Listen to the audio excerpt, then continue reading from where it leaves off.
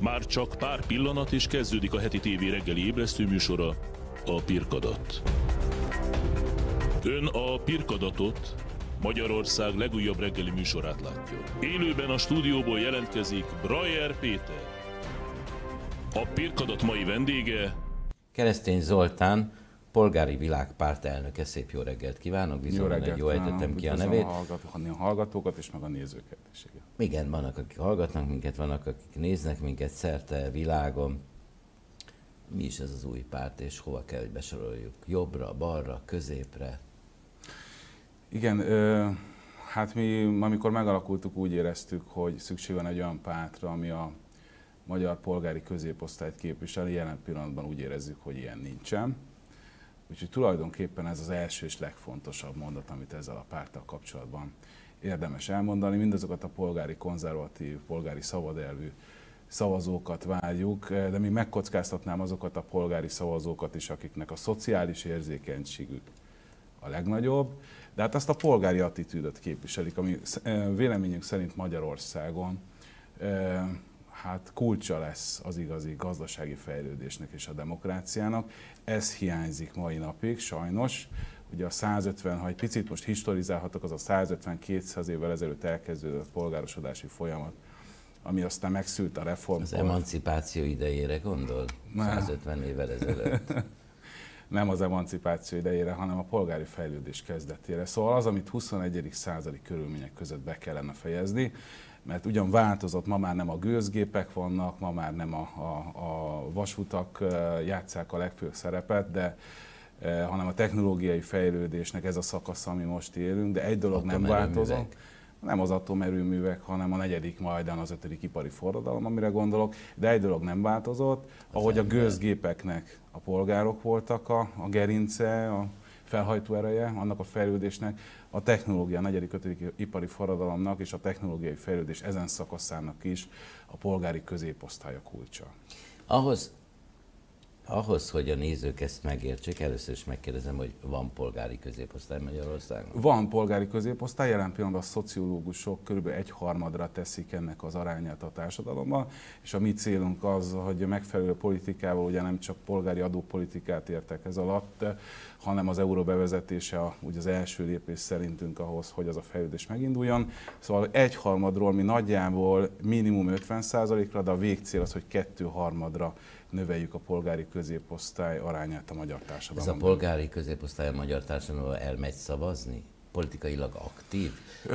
Azt gondolom, hogy nem ment volna el szavazni 2018-ban nagy részt, kiábrándult a polgári középosztály, hiszen a polgári középosztályra általánosan jellemző, hogy nem a kommunista utódpártoktól várta Magyarországon mondjuk a polgári demokrácia befejezését és a fejlesztését, azoktól a pártoktól várt, azoktól a rendszerváltó pártoktól, akik így úgy megígérték, de aztán nem teljesítették. Ilyen MDF menekültekről, túlélőkre gondolom? Nem, hiszem csak MDF-ről lehet beszélni, mindazokról a rendszerváltó pártokról lehet beszélni, azokról is, akik ilyen a kormányon vannak, akik megígérték a polgári Magyarországnak a, a, az ideáját és a megvalósítását, de nem teljesítették ezt az ígéretüket és így remélem, hogy 2018-ban a polgári középosztály elmegy szavazni, és a polgári világot választja majd. Lesz 106 képviselő?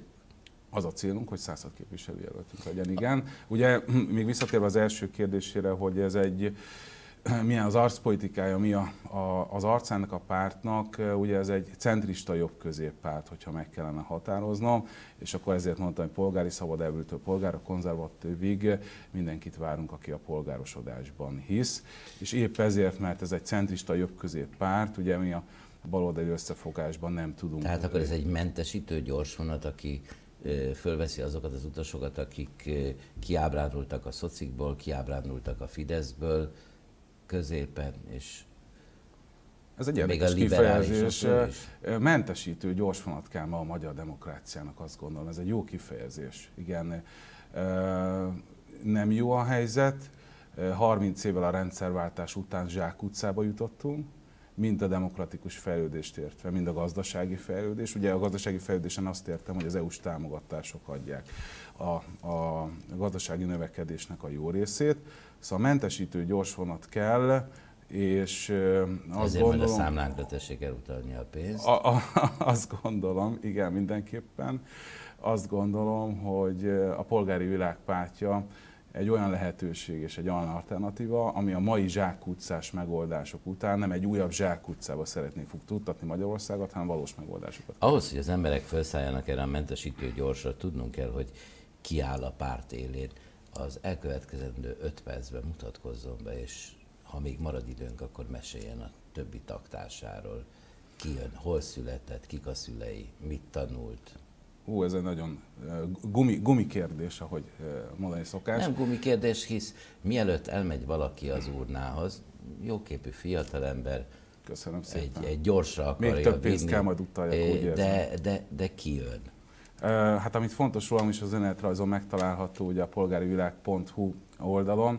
Tehát csak azok szavazhatnak önre, akik internetet használnak. Abszolút nem, abszolút nem. Most azoknak szóltam, aki esetleg kedvet kap arra, hogy megnézze az oldalunkat és ott a programunkat és az euróbevezetés programját.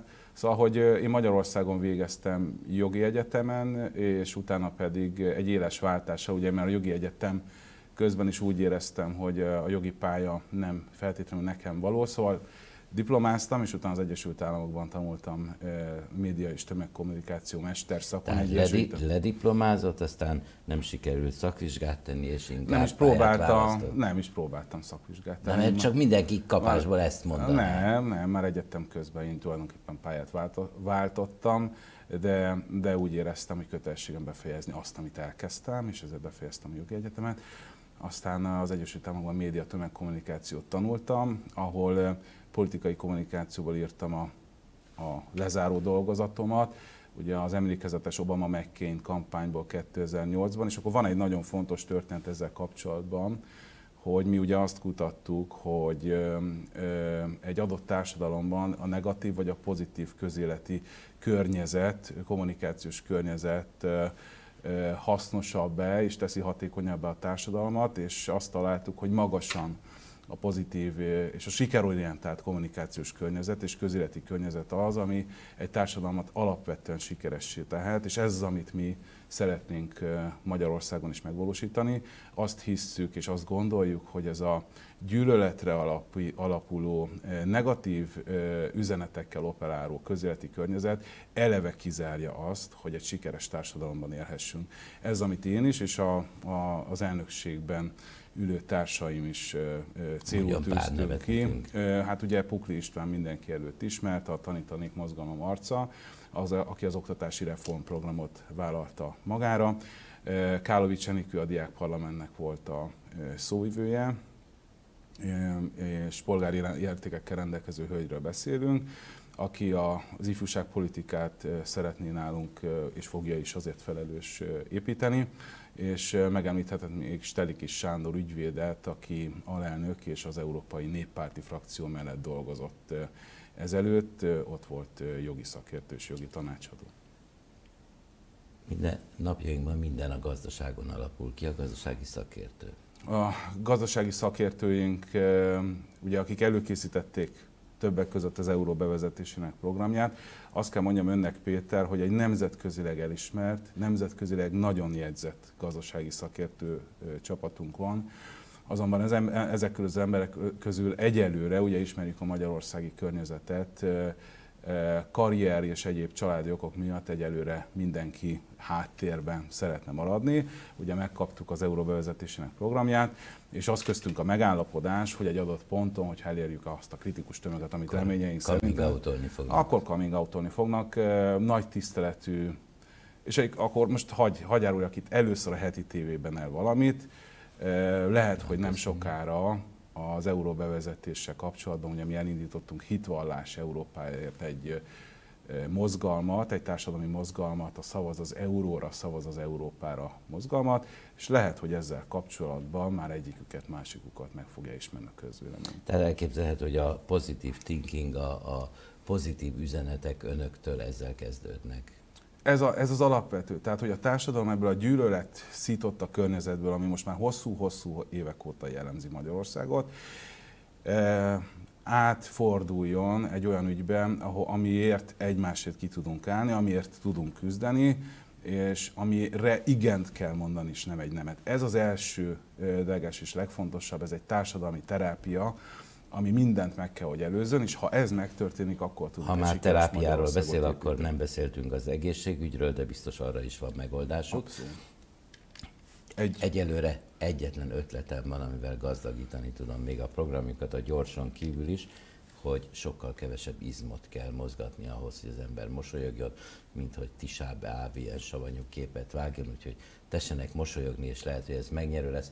Ne felejtsék el, kedves nézőink, hogy 5777 éves múltunk biztosíték arra, hogy mi még az időjárástól is függetlenek tudunk lenni, és akkor most következik a mi időjárástól is független pozitív híradónk, tartsanak továbbra is velünk, velem legközelebb este 7 órakor a 7 órás vendégre találkoznak, addig is érezzék jól magukat. Köszönjük, hogy rendelkezésünkre, és írja föl, hogy lógunk magának 5 perccel, és következik a híradó.